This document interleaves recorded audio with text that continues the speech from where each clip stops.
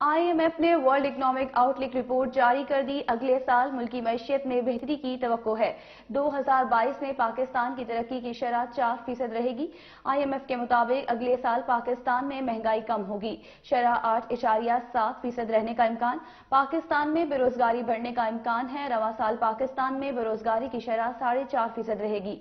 पाकिस्तान में बेरोजगारी की शरह दो हज़ार इक्कीस में पाँच फ़ीसद हो जाएगी। दो हज़ार बाईस में पाकिस्तान में बेरोजगारी की शरह चार इशारिया आठ फ़ीसद रहेगी।